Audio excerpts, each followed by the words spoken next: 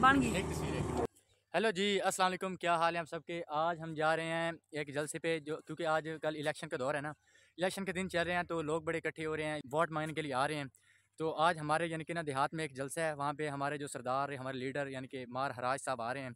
उन्होंने हमसे वोट लेने, उनका, उन्होंने कहा कि इकट्ठे होकर डिमांडें करते हैं, उनसे देखते हैं क्या डिमांडें होती हैं। हमने सोचा, उन्होंने हमें बुलाया है हमने सोचा आज चलते हैं और आपको भी बताते हैं कि क्या डिमांडें हैं और क्या वो कहते हैं हम सबसे, देखते हैं। ये वोट मांगने के लिए आए हुए हैं और इन्होंने ना हमारे देहात के सभी लोगों को बुलाया हुआ है।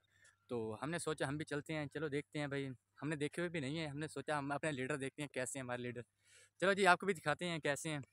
और ये जो जलसा है, वो हो रहा है मार सजाद महार के डेरे पर, जो कि हमारे इलाके के रईसी समझ लें, वो हैं यानी कि बड़े हैं हमारे इलाके के। हम पैदल जा रहे हैं। हमने सोचा पैदल चलते हैं। हमारे घर के करीब ही है तकरीबन। हमारे बाप दादा वोट हराजों को देते हैं। इन हम भी हराजों को वोट देंगे क्योंकि हम नमक हराम में तो नहीं कर सकते ना। ये तो हमारा जद्दी पुश्ती है ना। इन हमारा वोट हराजों की तरफ़ है और हमारी फैमिली का है। तकरीबन हम जो हमारी जो बिरादरी है ना, तकरीबन सारे वोट हराजों को दे रहे हैं। अल्लाह करे वो कामयाब हूँ। आमीन। भाई, हमने तो सोचा है हम अपना वोट उससे देंगे जो हमें आईफोन लेके देगा। नहीं तो हम अपना वोट साया कर देंगे। ठीक है ना, समझ रहे हो ना, कोई देख रहा है तो यार। और यार ये ना, एक मैं अपनी पर्सनल बात कर रहा हूँ, ये मेरी अपनी राय है, ये मेरी अपनी सोच है।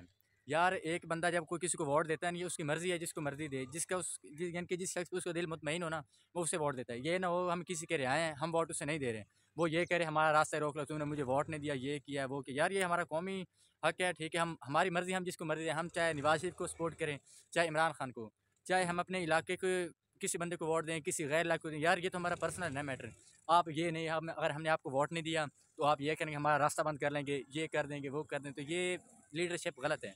ये मेरा पर्सनल एक्सपीरियंस है, बाकी आपको पता है। हम जी उनके डेरे पे पहुँच आए हैं, पहले हमसे पहले बंदे गए बैठे हैं, देखते हैं। ये है जी उनका डेरा।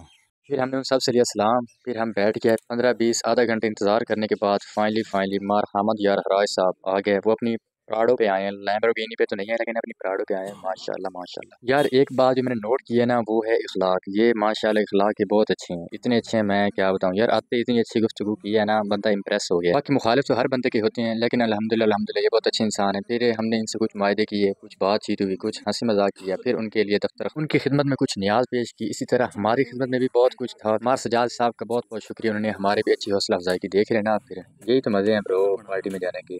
फिर हम सबने उनकी कामयाबी दुआ किसी के साथ उनको रवाना किया लेकिन ब्रो ठहरो अभी तो एक चीज़ बाकी है वो क्या है? ये हो नहीं सकता कोई बड़ा बंदा हो और आपका भाई उसके साथ सेल्फी ना बनाए या वीडियो ना बनाए ये देखें ब्रो। हेलो जी तो हमने हाँ सरदार हामद या राय से मिले जो कि आए हुए थे हमसे बहुत अच्छे बहुत अच्छे इंसान है अच्छी मुलाकात हुई है। जो कुछ हमारे मुतालबे थे हमने उनसे किए हैं इन वो पूरे करेंगे। बाकी मिलते हैं नेक्स्ट ब्लॉग में तब तक के लिए अल्लाह हाफिज़ शुक्रिया थैंक यू।